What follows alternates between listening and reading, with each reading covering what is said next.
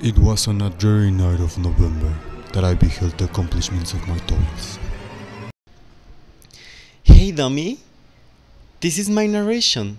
You are on the incorrect video. Oh, sorry. Okay, don't mind.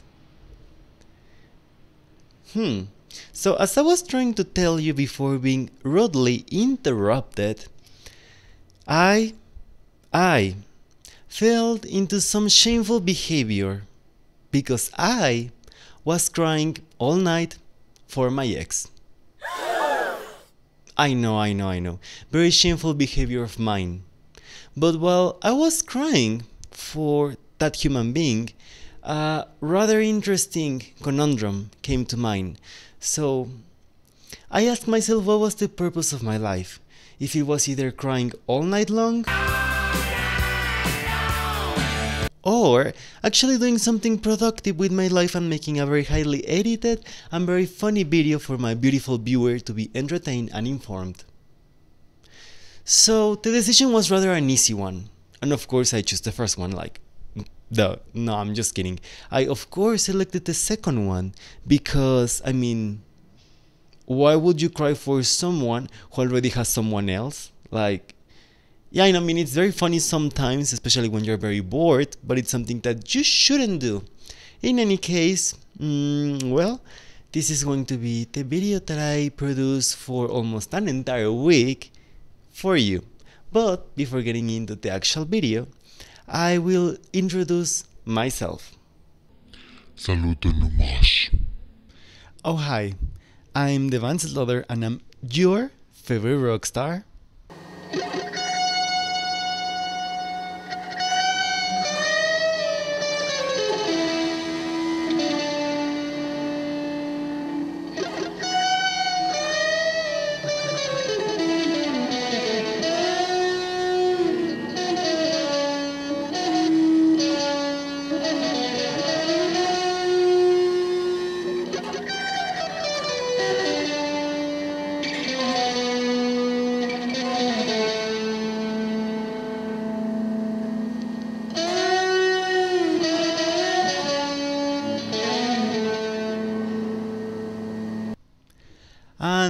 The only channel here on YouTube that is produced by someone who was abducted by a vampire marmot.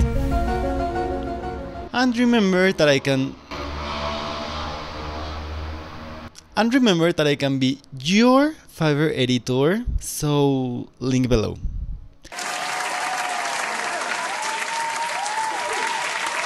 Just a very quick disclosure, trigger warning about this movie. Um, this movie is one of one of those movies that are like the impersonation of that boy in middle school who thinks he's funny just because he's saying offensive jokes, and he believes that everybody needs to hear his racist and stupid and misogynistic takes on life. So that's mostly what this movie is. Uh, it's about a joke from a middle schooler. So if you would like to get a summary and a very delightful critique done by me, your favorite rock star, you can watch this video. But I will warn you, it is offensive in not very funny ways, as South Park tried to. It's more offensive, like it's even an ignominy that I'm doing this video. But as I said, I was missing my ex, so it was either crying all night or doing this video, so I hope you enjoy. This movie starts in a high note. Not that high note, the band the pianist. It starts in a high note in Misogyny. My friends think that you're gonna turn out to be really fat and ugly, but Yes, we are introduced to Krusty, who is one of the main protagonists of this movie, who is enamored, is in love by a girl that he met online and his friends told to him that there is a possibility that she's fat and ugly. So, wow, we're already starting very high on the misogyny scale. And I severely and wholeheartedly have a question. Why on every single American comedy movie of the 2000s, men have to act like trash? Like, Is it a stereotype? Do all men in America act like that? I mean, I'm not from the US, so that's a very important question. Like, is it really like that there? Like, I, I don't know. I have more questions than answers. I don't know. Our next scene is two characters, Wang and Pete, who they are getting high Into avoiding stress. and they are um, inserting substances grabbed in latex in places where you shouldn't introduce substances.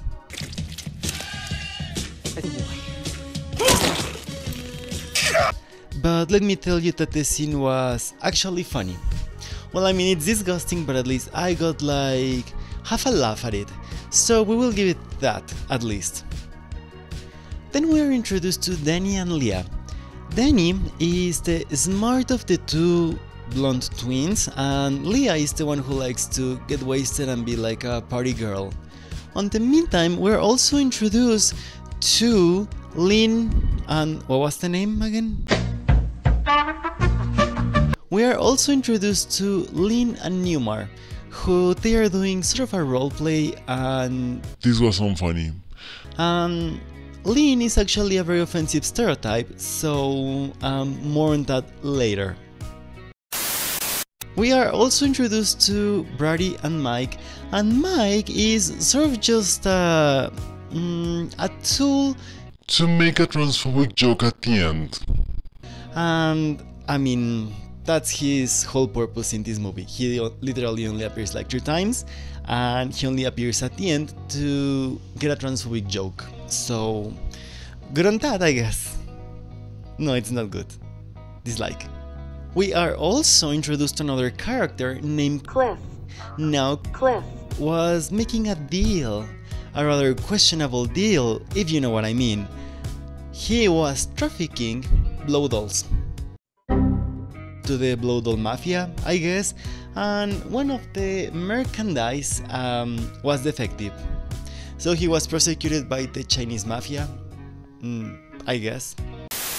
So now, back in with Krusty, as now he introduced all of his dumb friends to his love interest, he decided to show his love interest how he waxed his derriere and how the bush is now trimmed because I guess I guess why not? However, he was doing a dance, he was swingling and dangling that thing around when his fathers decided to come into the room. So his son's reaction, instead of putting his pants up, was to close the computer. And he closed the computer on his kakunga. Yeah, yeah, yeah, very funny, I know. Okay, after being introduced to the most disgusting Flash animation I have seen thus far in my life, and believe me that I have seen some horrible things, I can even do something better on Premiere. I believe. I mean, they're not paying me, so I'm not even going to attempt to do it. In any case, now they are on a train to Romania because they were like sort of in an exchange for a semester. When they were on the train, someone was recalling a legend that I will tell you in a moment what the legend was about. However, mm, what was his name? However, Krusty decided to brag about his girl to everybody, and they couldn't hold on their misogyny yet again, and they found out that the computer had a questionable liquid on the picture of his girl, if you can imagine what type of liquid it was. Now, on the legend, this legend contained an offensive stereotype of a gay person who is very vapid and useless, and it contained a vampire hunter which it doesn't have a name. He doesn't have a name. We will call him Van Helsing. I guess. I don't even know. So the legend was that there was a vampire who had a love interest and they were going to conquer the world, but this vampire hunter trapped the soul of the vampiress on a music box. And then he asked his gay assistant to put the carriage at a specific point at a specific time and of course as ba- as he is vapid and dumb he didn't put the carriage in the place where it was supposed to be so when Van Helsing jumped off the window he fell straight with Amy Winehouse Oh yeah, I refer to Amy Winehouse as God, so he basically went to heaven. So yeah. That was the legend. Very funny, I know. Then we are introduced to an action scene that surprisingly, and I have to give credit where credit is due, it was actually filmed decently. So props on that. And yeah, I don't have anything to complain about that.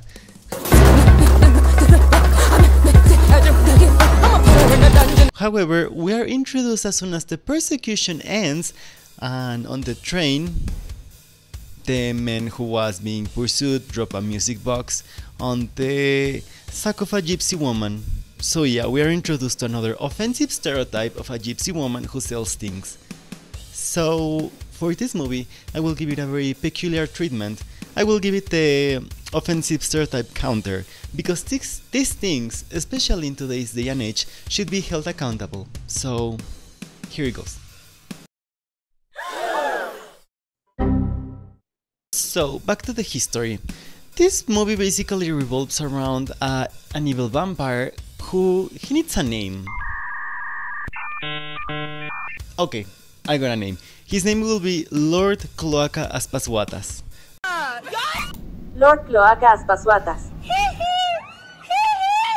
Don't even ask why, I just figured it out. Okay, so Lord Cloaca Aspaswatas had to revive his vampires in an strange ritual to conquer the world, or to go to McDonald's, I guess. In any case, the music box was now in possession of a simple mortal. Who is that simple mortal, you might ask to yourself? That simple mortal is Newmar, who gifted the box to Lynn, Oh, Newmar, it's beef? Okay, so do we remember Wang, who is the Chinese dude who inserted a wombat-sized object filled with pot into his intestines? Well, he go into the wagon where some characters were at. I don't remember them all, but I remember that Pete and Danny were there. And I will say that it is unfortunate because they were a couple back then, and I will just say that mm, I do not approve this. And I will explain why in a moment. So basically, Wang invited them to go and get high, and the only one who accepted was Pete. So they went into the backside of the train to basically just like a cargo cart where there were some coffins, and when they opened the coffin, there was a sleeping vampire. They thought that it was someone deceased, so they couldn't hold back on the misogyny, and they catcalled the dormant vampire. Wow, that is one fine. And I will just say right now, Pete is the most disgusting character of this entire movie. because he, He's a cheater. a perfidious cheater, and I don't like cheaters. Mm-mm. That's not allowed here.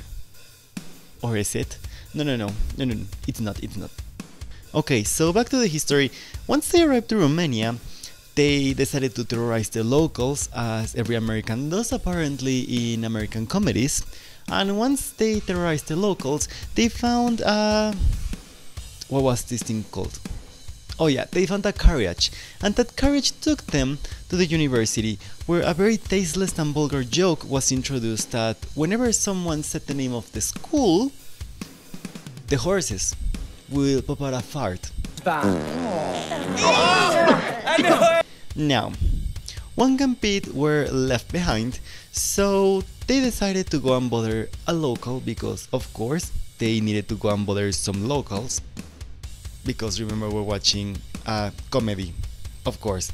And the local apparently values a lot blue jeans because apparently in Romania blue jeans don't exist and are the rarest item you could find. More rarer than gold more special than diamonds. So of course the currency there is basically blue jeans according to the writers of this movie. So they exchange their blue jeans a pair of blue jeans for a motorcycle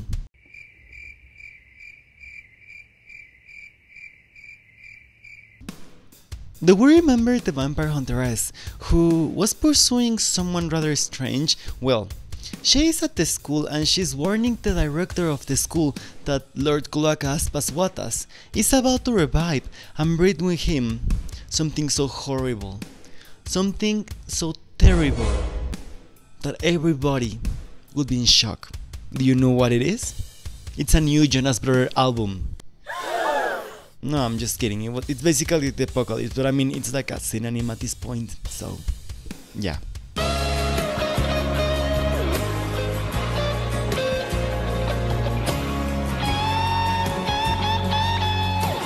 They had their first class, which was a rather questionable self-defense class who was imparted by the vampire hunter which I might say she looks extremely familiar to someone, but I don't know to who. Okay, anyhow, after the lesson, some dudes uh, invited Danny to go get wasted with them, and those dudes were basically Pete and Wang, of course, and they invited Leah over, and she agreed. And of course, as they are very good, polite, and amiable friends, they decided to abandon her in a foreign country alone. Well, not alone, but in a castle where apparently there were people that went missing, because every good friend always does that for you. So the unfortunate happened, and she was kidnapped, and Lynn and Newmar were reading some literature. No, they were not reading good literature, they were reading the Kama Sutra.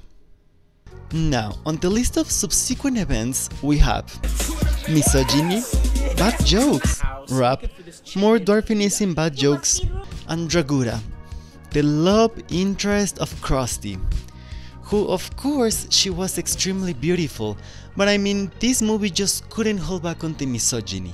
They couldn't hold back on the homophobia. They couldn't hold back on the transphobia. They couldn't hold back on racially offensive stereotypes.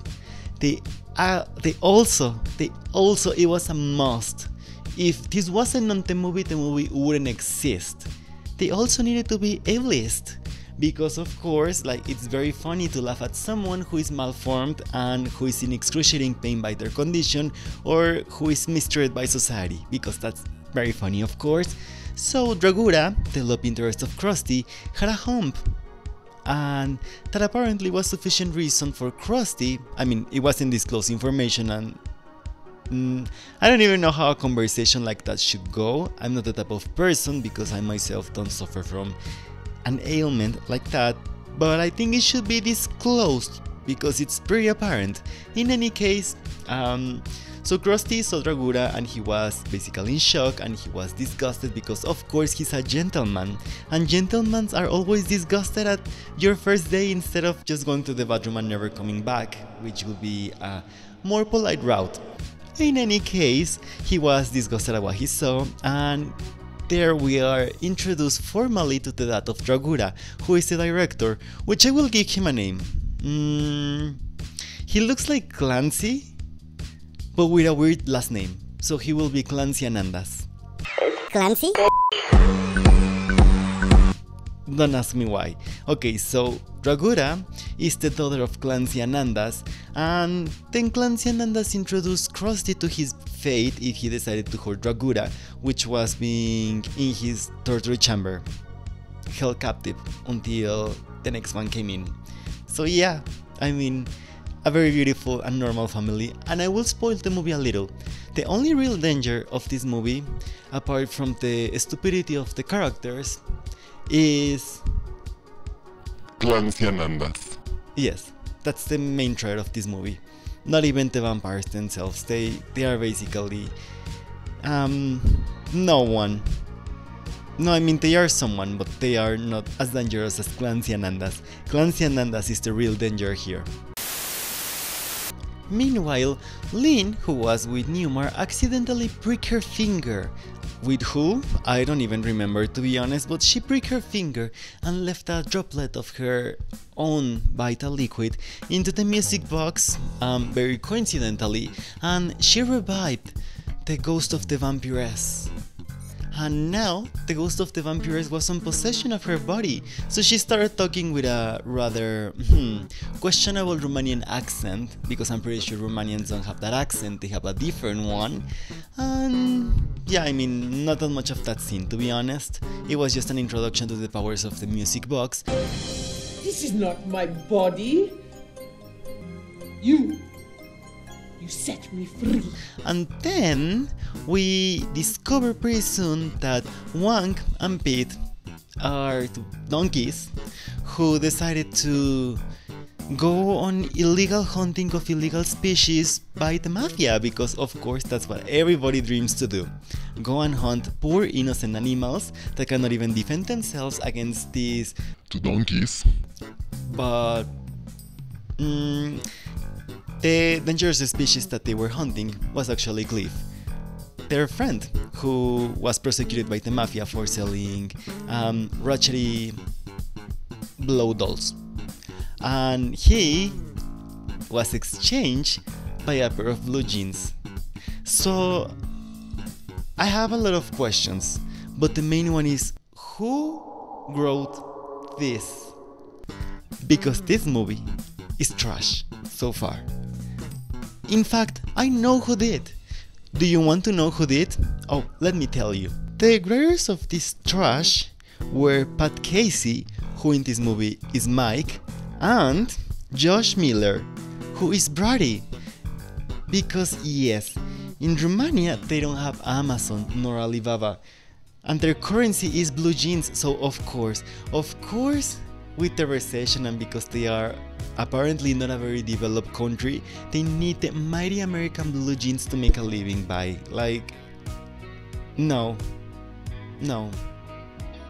I cannot even express my disappointment in the type of comedy that was produced by people and that was greenlit by studios. It's offensive, it's not funny. Well, I mean, there were like three good jokes, but I mean, I could literally write something like this in a piece of toilet paper 10 times better. And it wouldn't be racially offensive because why do we thought back then, and a lot of people still to today, that just because you're offending someone that's funny? There are some times where it is, but no. In this time, no. So we will give them the treatment of shame. So shame three times for them. Shame. Shame. Shame. So we can go back to the movie. Stephen Hayden. Transylmania is such a colossal comedic misfire that it makes the execrable, scary movie films look like masterworks of Preston Sturgesque genius by comparison. So, a few ableist and homophobic jokes later, Rusty! Hello, hello, it's Moisty. What about her? Did you hump her? oh yeah? Well, freshman year, Mike made out with a dude in Cancun. Son of a. the vampire hunter who I'm still trying to figure out to who she looks like because she looks rather familiar. Tried to convince Clancy Anandas that there was some vampiric, and vampiric activity in the school, so he should shut down classes. But he gave two names. And that resulted in Leah, and Wang finding the secret laboratory of Clancy Anandas, in which they found Leah. But they found her head. But her head was still alive. But I mean, she was missing her body, who was literally in front of her. So they were trying to figure out how to put Leah's head back into her body, and while they were like playing with the body, I guess they were like examining it, but rather weirdly, they accidentally started pulling the stitch from the body, and that stitch came in in a very very long thread.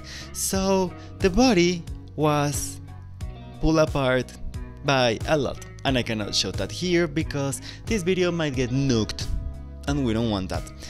So now the body was pulled apart like a chicken on a rotisserie, or like Marie Antoinette when those uncivilized mongrels decided to behead her.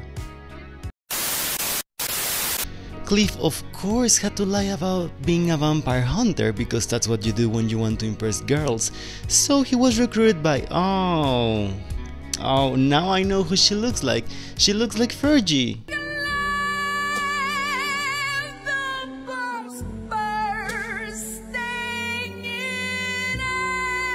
Yeah, so she will be Virginator 10,000. So Cliff was recruited by Virginator 10,000 on a quest to defeat Cloaca. So, while they were hmm, hunting for vampires, Krusty decided that as he was going now to the vampire Corgi, he needed to get some blue pills to get his Kakunga heart as a tree, if you know what I mean. So he went to the dealer of the school and this dealer gave him a lot of pills that were not for that particular use. You know, funny thing is that with that amount of pills, it could result in one of those histories where you end up in the bed of 8 pedestrians under a bridge with three tattoos and a missing kidney. Cliff and Virginator were looking for Cloaca, and Lynn opened up the box again. So we... wait, the vampire... the vampiress needs a name. So we will call the vampiress when she's in possession of Lynn, vampire... no. So we will call the vampiress Chicken Nugget. I woke up this morning feeling like a chicken nugget.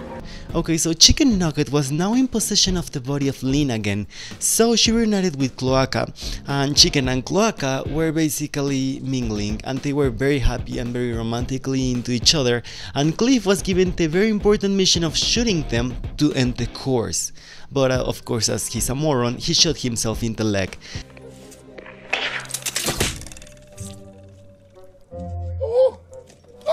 Resulting in the vampiress and Cloaca being free to roam the castle, but before that, Newmar saw that his possessed girl was making out with Cloaca, who he thought was Krusty because they are the same actor and apparently a look-alike in this history.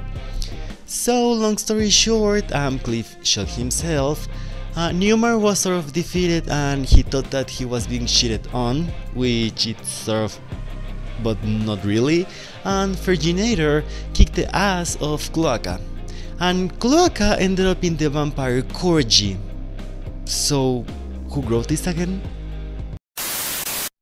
On the middle of this mess, as I said, Cloaca ended up in the vampire Corgi, and Chicken Nugget, who was still in possession of the body of Lynn, took Krusty because she was confused, and she was making out severely and very intensely, almost trying to eat his mouth. And then when the music box was closed, that removes the course. So she was now Lynn again and she was utterly disgusted at the idea of making out with Krusty. So of course she ran out from there disgusted. And Cloaca was in the vampire Corgi, however in this vampire Corgi he was... He was followed. He was followed by Virginator, in which she was unable to defeat him because the director, Clancy Anandas, stopped her and right there he fired her, but she gave two Dems.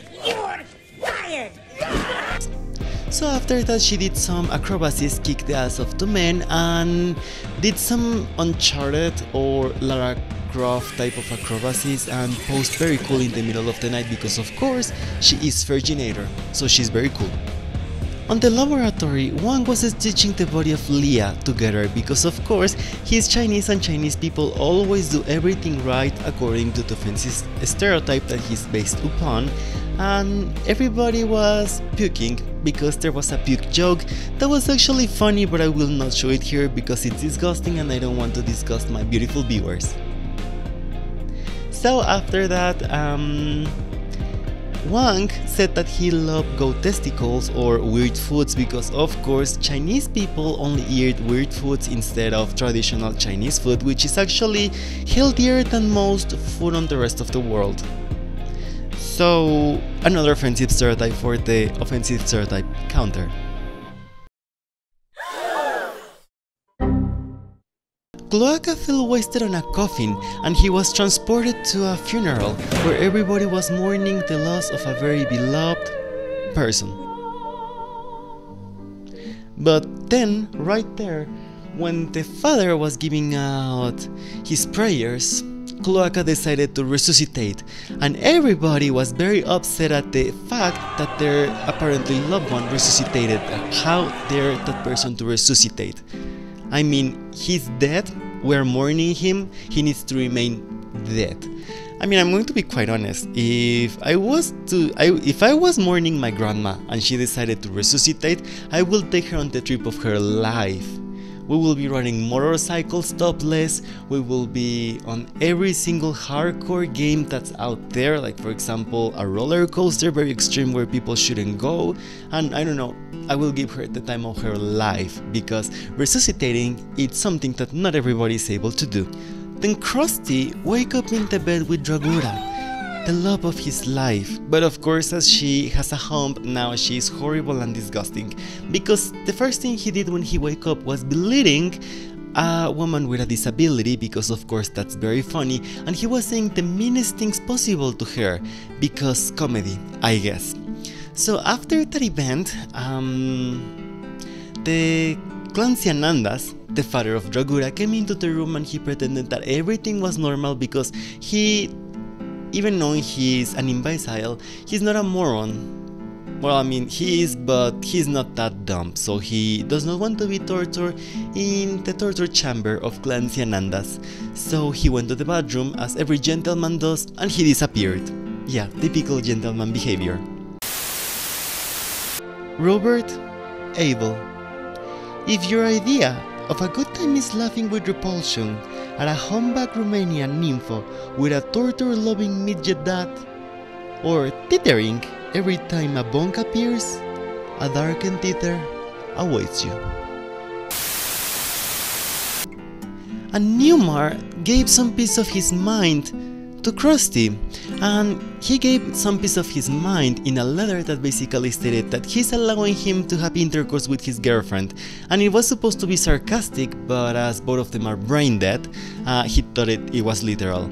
So, Chicken Nugget uh, kidnapped Krusty and took him to a secret vampire lair where a mythical vampire ritual was going to take place, but this vampire is very misogynistic and revolves around nudity because, of course, every ritual needs to have naked woman for it to work. Wow, how creative! And also, vampires are not only objects, but they are also demons, people, dead people. I mean, there are no objects, so another offensive stereotype.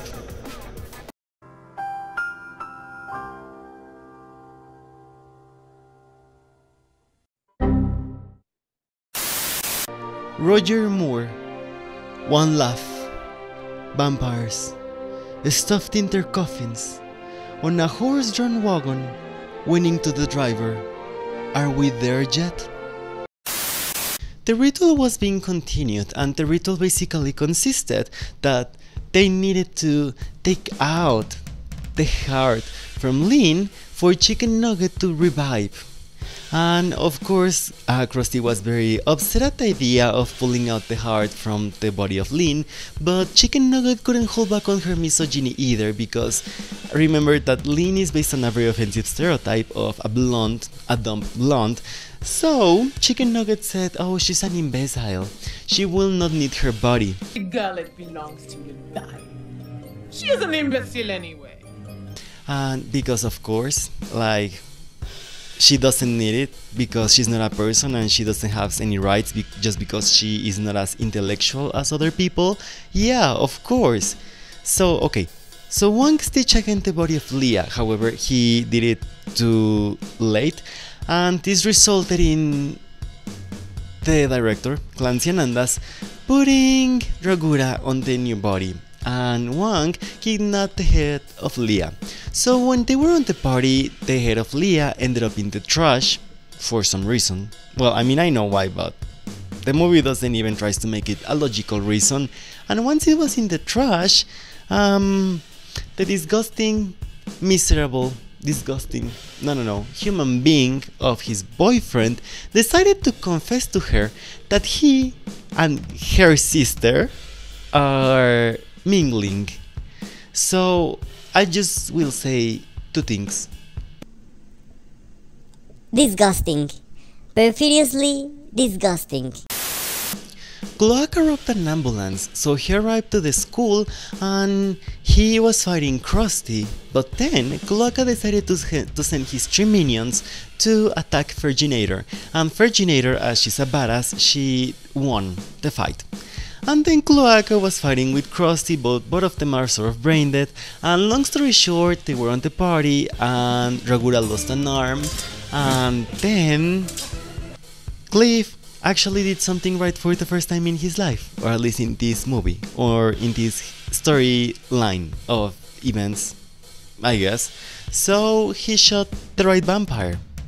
And then peace was restored in the universe. Oh, wait, not really. Because before ending this movie, actually, Clancy Anandas confessed to Dragura, his daughter, that he basically removed the body of Leah to give it to her because why not? And even knowing that Leah was utterly miserable being bodiless, and Dragura just decided to be complacent, just as her father, because she she kept the body. Um, like, why won't give it back, or at least give Leah the body of Dragura? I mean, out of bare decency? No? Okay, so we could say that it was sort of a happy ending, I guess. There's a prologue, so I will read you the prologue because I will not even do the effort of remembering everything that happened because everything is trash. So, I guess we will go to the prologue. At the end, Cloaca Aspaswatas, I mean, well, he was a goner, so no comments on that. Cliff turned into a vampire hunter. And a rather sexist one because he only uses that like as a brag, but okay. Leah's head got a magic act in Vegas after falling in love with Brody. Mike has some sort of a crush for cross-dressers or trans people, and I'm going to be quite honest here, most likely they were trying to make a transphobic joke because apparently, and still to today, some stupid people think that trans women are just men in a dress. So yeah, most likely it was a transphobic joke, so shame again on them, and we will add this to the offensive stereotype counter. And I mean, if he likes trans women or cross-dressers, what is the problem? Like, it's not funny. It's his preference, and preference, preferences need to be respected. You cannot demand for respect if you don't respect other people. Wang became a plastic surgeon who botches patients because he is smart but dumb at the same time, I guess. Pete and Danny stayed in Romania and made a fortune importing blue jeans. Lynn and Newmar are now tantric professors for the Codex Erotica, and what in the world is this card wheel? And I got to admit, I was impressed by their gymnastics, so this gets a 10 out of 10. Virginator, who her real name in this movie is Theodora, decided to dye her hair blonde and record the Duquesne and became one of the biggest acts of the 2000s. Nah, I'm just kidding. She actually decided to be a cop, but that history is boring, so we will just stick with she recording the Duquesne. And and Krusty had a baby, which let me tell you something about me. I have I have had more procedures than what you can see on camera, and I would never dare to reproduce because I know, I know my offspring would inherit the same defects that I had. And let me tell you, they are severe defects, hell defects, so no. I wouldn't put no one through that misery as I suffered. So yeah, surgeries and procedures are not hereditary, and this, this is how this rampant piece of trash ended. Now, this is the conclusion for this very strange piece of trash movie, so I'm going to give my most formulated and calculated opinion because we have a lot of things to really dissect here. So, first of all, and the main thing for me, at least personally, is that this movie, even knowing it's supposed to be a politically incorrect comedy, it's not funny at all. And it's not just because it is offensive and weird, there's a lot of offensive and weird movies, series that I actually can laugh at for what they are trying to do, which is of to eradicate or just make fun of how people perceive these stereotypes, but in reality they're just echoing those stereotypes like for example Drawn Together is a very good example of a series that was able to incorporate very offensive stereotypes and yet make it work but here there's no real progression on, on how they thought because even with the character of Krusty he never really took the time to deconstruct why he was actually so disgusted at the fact that Dragura had a hump instead it was like oh Dragura is now hot I will make her babies like what? No. It's offensive in nature, but offensive for women, offensive for Romania, and offensive for transgender women. Because on this channel, we do not promote transphobia. We are pro trans people. Because let me tell you this, it's your body, your decision, and that goes for everything. Unless your decisions are affecting other human beings, like in this movie with misogyny, because, I mean, misogyny affects women, so of course. And other important fact is that this movie, even though it had a lot of history in Romania, because, well, I mean, I don't even know where the castle is, but if you're going to do a historic movie, or at least based on a specific location on the world, you need to do the bare minimum research. I myself don't know almost nothing about Romania, more than the fact that it has castles, and that's it. My ignorance for Romania is astounding. So I myself wouldn't dare to make a movie about Romania or about vampires in Romania because I know nothing and I don't want to propel ignorance across the world with my ignorant movie. And also, when it comes to vampire literature, it seems that they just visited a lot of videos on the hub if you know what type of hub I'm referring to and over there they did the research about vampires. Now, for vampires this book was written a long long long time ago and this movie is about a vampire female who was enamored or who actually wanted to enamor another female so it was like a sort of a lesbian vampire relation which it has nothing wrong which absolutely normal. For those times this book oh this book was controversial let me tell you. But it just goes to show that in this book that vampire didn't need a leader who was a male and this vampire was sufficient in itself smart enough to be able to bypass generations to destroy families to get her final objective. So vampires are not dumb and brainless as painted as on this movie or at least their origin in literature is not what is shown to be. Now, in regards to the cinematography, sound design, and the script, well, the script is trash. I don't have anything else to elaborate there. Based on the cinematography, if you didn't know, and I know that right now my set doesn't look that professional and that my camera is not the right lens for it to blur the background, but I mean, I'm improving. It's very expensive to do YouTube videos, just to get 100 views. Hehe. In any case, um, the cinematography wasn't very good, it was mediocre. Um, why I'm saying mediocre, it wasn't astounding, it was well lit, mostly, so that's a positive, but that's the bare minimum when you're filming a movie, when you have a studio backing you up, and when you have at least some budget. So, no, um, it doesn't get a pass because a lot of people, if they were giving that budget, they would be able to do more incredible things. So yeah, Noah passed there on cinematography. On regard to the history and the script, well the script is trash. But no, I actually have something else to elaborate. Um, when you're reading a script, especially a script that has this many characters, it could be all over the place and quite sincerely this movie is all over the place because we don't have sufficient time to follow the characters effectively. We have two groups and we have many other characters that are intertwined who we don't really get to explore their background, who they are, what they wanted.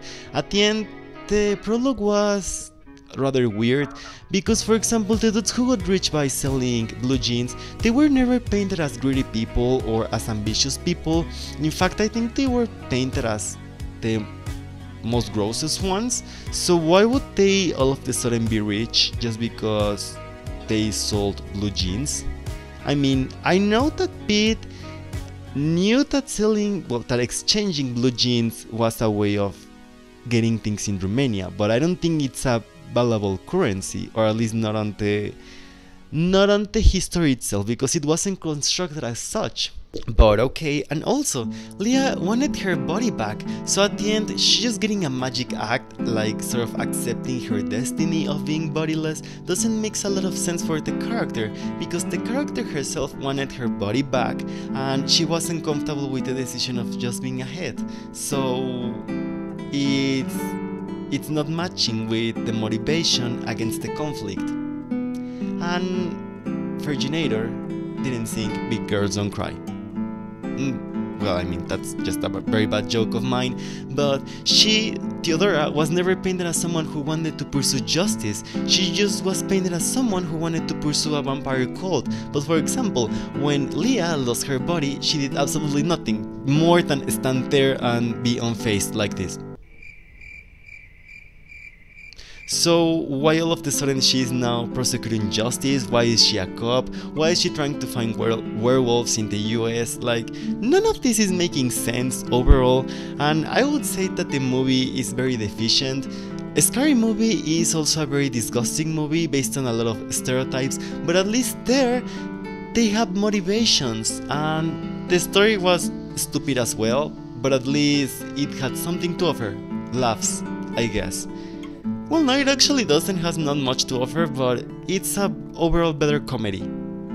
So yeah, mm, if you want to do something valuable with your time, I would suggest for you to read Sherlock Holmes.